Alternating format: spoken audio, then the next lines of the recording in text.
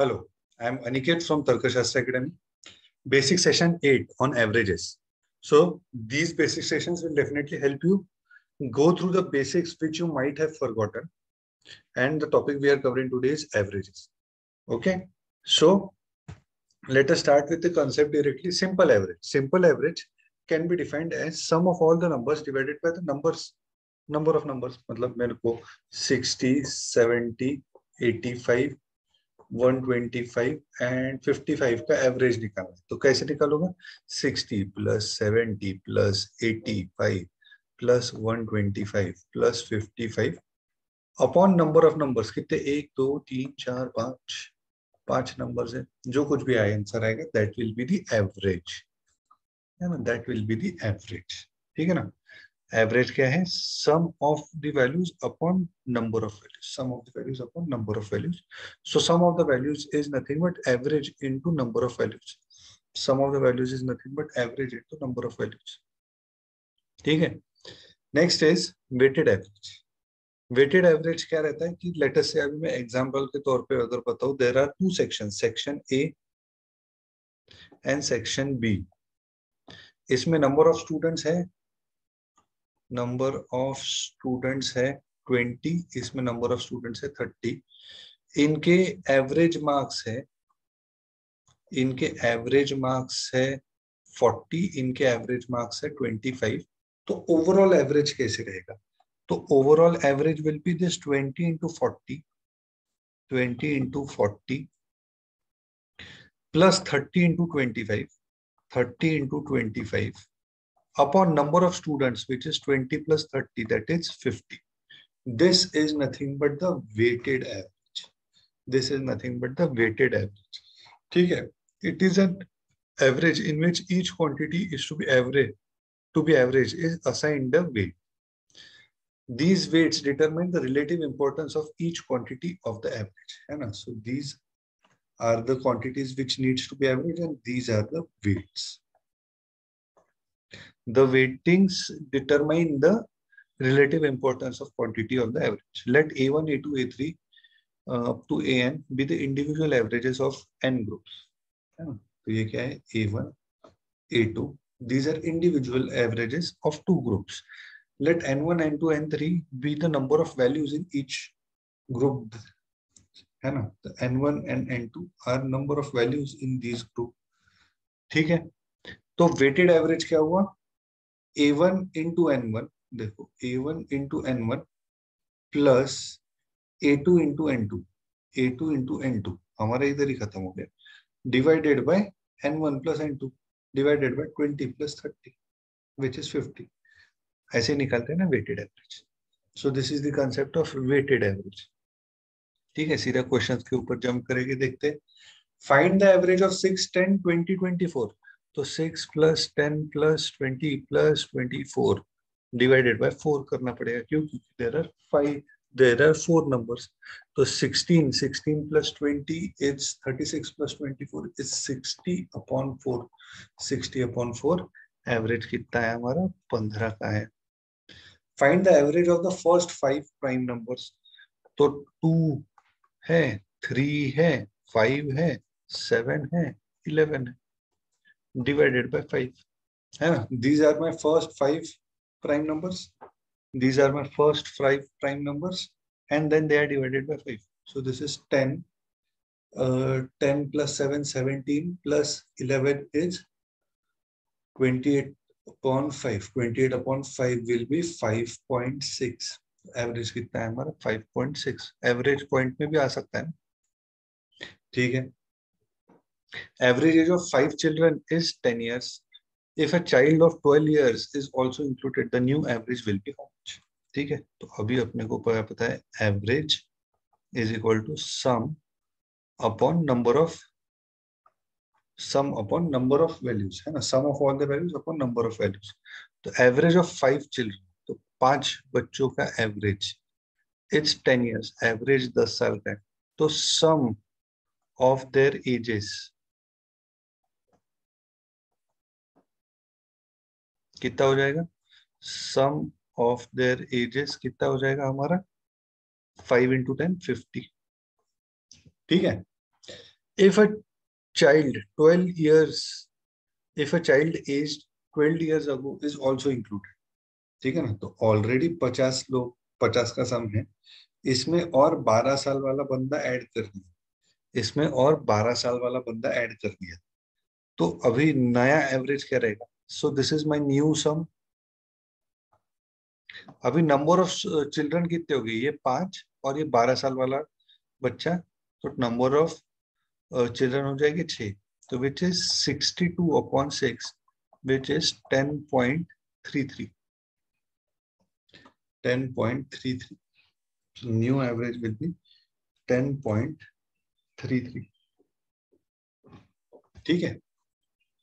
Next average age of five children is ten years a child of 8 years is replaced by a child of 13 years है ना तो अभी हमने देखा average is nothing but sum upon num sum of all the quantities upon number of quantities average of five children is 10 years तो sum कितना हो जाएगा sum of all uh, sum of the ages of all the children will be 50 now 8 years child is replace by thirteen years है ना? तो ये total पचास थे पाँच लोगों का। उसमें से आठ साल वाला रिप्लेस कर दिया। है ना? आठ साल वाला निकल गया, इसलिए माइनस एंड उसके जगह तेरह साल वाला आया। उसके जगह तेरह साल वाला आया। ठीक है? डिवाइडेड बाय फाइव ही रहेगा, क्योंकि पहले पाँच बंदे थे। एक बंदा निकल गया, है ना? एक बंदा निकल गया और एक बंदा आया। है ना? तो अभी भी पाँच ही ना? ठीक है? तो अभी नया एवरेज क्या रहेगा? 50 minus eight is 42 plus 13 is 55 upon 5 तो नया एवरेज हो जाएगा हमारा 11 नया एवरेज हो जाएगा हमारा 11 ठीक है ना? The average weight of A B C is fifty तो average weight of A B C is fifty ठीक है? तो a plus B plus C कितना हो जाएगा? A plus B plus C हो जाएगा। Three into fifty that is one fifty है ना? एवरेज ऐसे ही निकालते हैं ना? Sum of all the quantities upon number of quantities अभी बोला है कि A's weight is sixty A का वेट है सिक्सटी तो b प्लस सी का वेट कितना हो जाएगा? नाइनटी हो जाएगा। एज वेट इज़ सिक्सटी अभी b प्लस सी का वेट कितना हो जाएगा? Ninety now ninety is the average we want to find out the average weight of b and c तो average weight of b and c is b plus c by 2 है ना b plus c and दो quantities है इसलिए divided by 2 तो b plus c की value तो 90 है upon 2 that is 45 average weight of b and c is 45 ठीक है the average of 20 numbers is 0 of them at most how many numbers can be greater than 0 and of them at most how many numbers can be greater than 0 एक चीज़ ध्यान में रखो average of 20 numbers is zero है ना तो मतलब A B C up to let us say t divided by 20 this average is zero ठीक है of them at most how many numbers can be greater than zero मतलब मेरे को maximum numbers को ग्रेटर देन ज़ीरो रखना है। तो मैं बी को पॉजिटिव रखता हूँ सी को भी पॉजिटिव रखता हूँ, है ना? ऐसे करके मैं सारे के सारे वैल्यूज़ पॉजिटिव रखता हूँ। बस मेरे को ए को एक बड़ा निगेटिव नंबर रखना पड़ेगा, है ना? मेरे को ए को एक बड़ा निगेटिव नंबर रहेगा, जिससे ओवरऑल सम ही ट्वेंटी आ जाएगा, जिससे एवरेज भी ट्वेंटी आ जाएगा। ठीक है ना? एग्ज़ाम्पल के तौर पे भी पता होगा बट अभी अपने को आंसर पता चल रहा है कि how many numbers can be greater than zero nineteen numbers can be greater than zero for example A की वैल्यू में ले रहा हूँ माइनस नाइनटीन फिर बी की वैल्यू ले रहा हूँ वन सी की वैल्यू ले रहा हूँ वन है ना? ग्रेटर देन ज़ीरो चाहिए ना?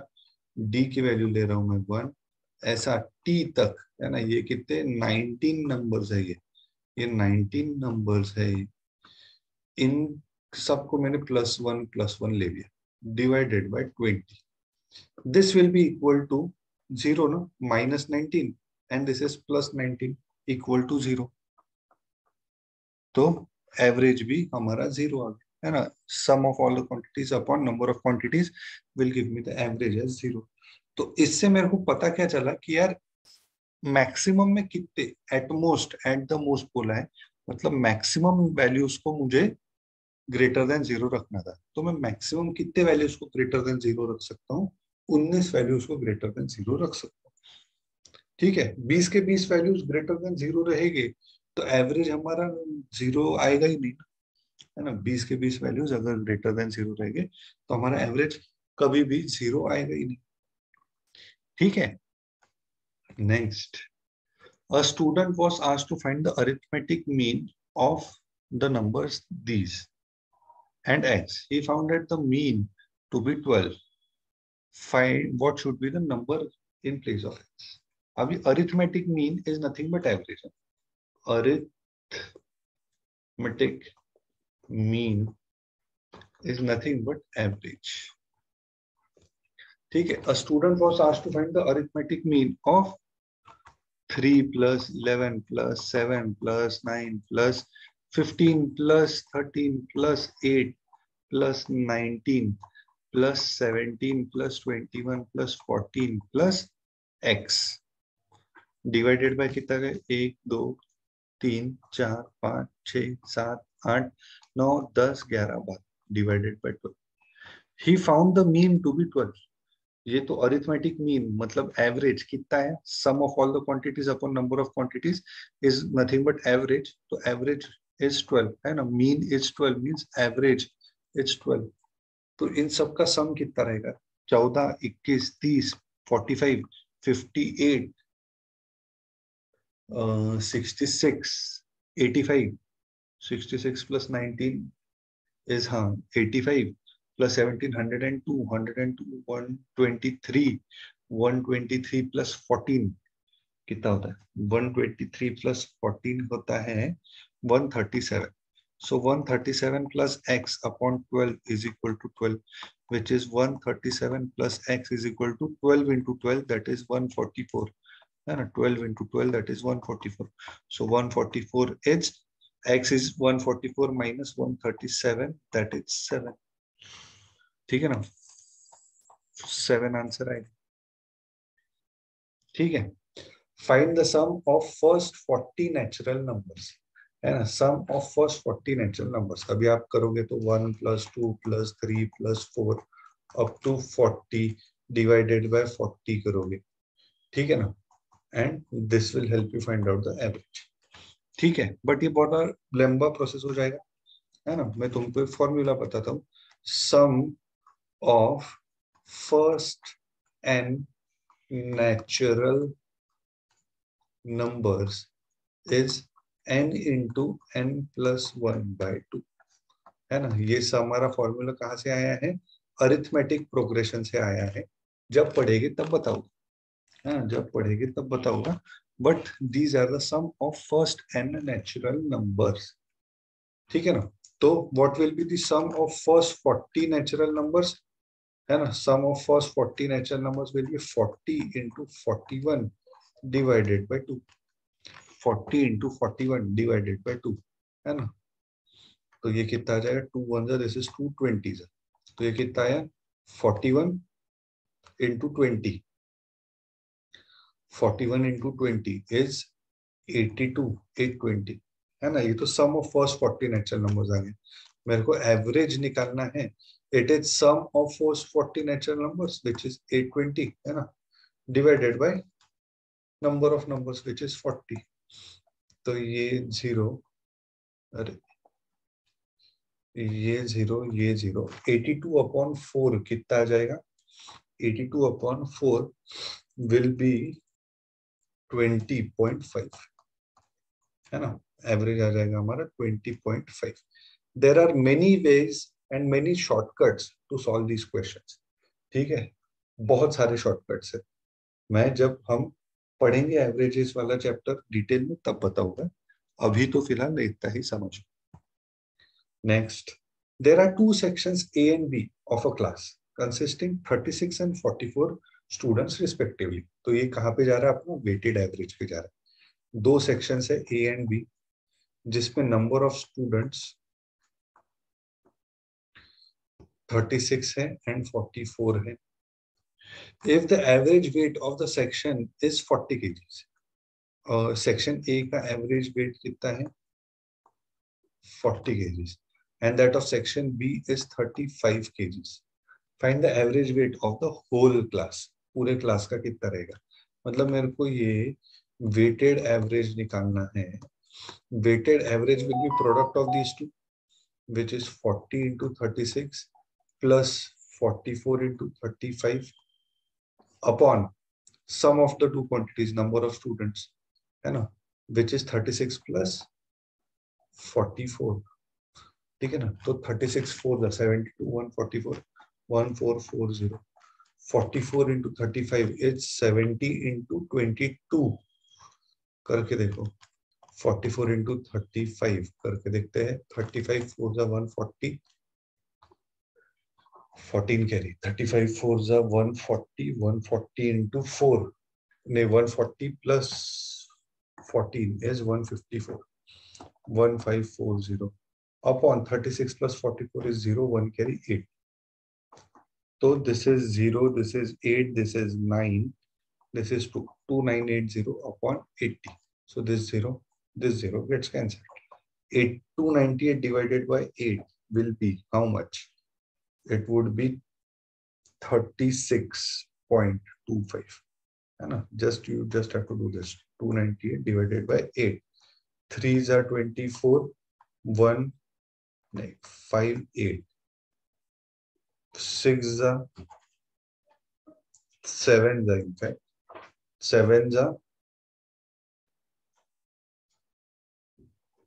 298 है ना? Sevens are 56 2 तो पॉइंट डालेंगे ट्वेंटी और ये पॉइंट फाइव डालेंगे तो नहीं टू डालेंगे तो सिक्सटीन ठीक है? टू डालेंगे तो सिक्सटीन तो बचा क्या फोर फिर फोर्टी डालेंगे तो फाइव तो thirty seven point two five thirty seven point two five ये वेटेड एवरेज आने वाला है, ठीक है ना? Thirty six point two five नहीं आएगा thirty seven point two five आएगा। ठीक है now the last question the average weight of 40 students in a group is 14 years when teacher's age is included the average increases by one what is the teacher's age in years average age is sum of the total ages of 40 students upon number of students so average age of 40 students so 40 students is 40 तो sum of ages of 40 students आ जाएगा तो sum कितना आ जाएगा? 40 into 14 that is 560 है ना? 14 4 is 56 0 आ गया 560 now, when teacher's age is included in it, this is 560 and teacher's age is included in it, अभी नंबर ऑफ़ लोग कितने हो गए?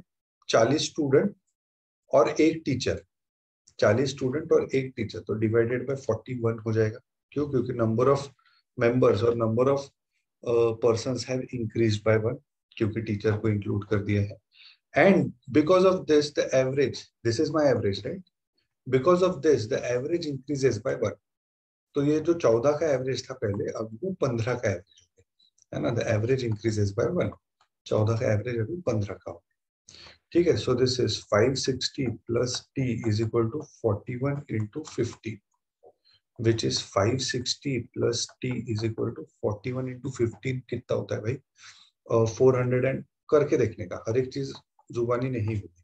फिफ्टीन वन जा fifteen one carry sixty fifteen four जा sixty plus one six one five ऐसा आएगा six one five तो टीचर का एज कितना हो गया?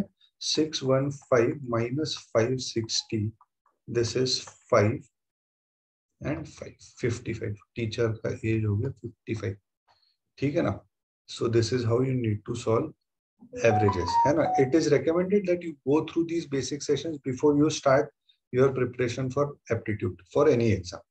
These basic sessions will help you recollect all the things which you might have forgotten about the basics of mathematics. ठीक है? You can connect with us on any one of these three social media platforms or visit our website tarkashastra.co.in or send a WhatsApp message on any one of these two numbers. Thank you so much. Jai.